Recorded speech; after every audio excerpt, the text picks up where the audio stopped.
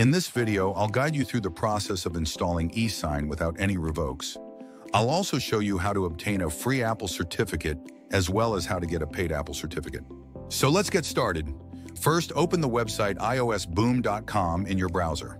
On this site, you can purchase a certificate for your device.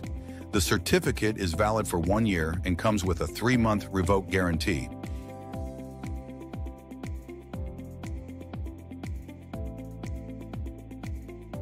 If you'd like a free certificate, click on Try for 24 hours and join the waitlist. Now let me show you how to download the certificate files. First, go to the check order page and enter your order ID, along with your UDID number. As you can see here, you can download the certificate files and save them directly to your device.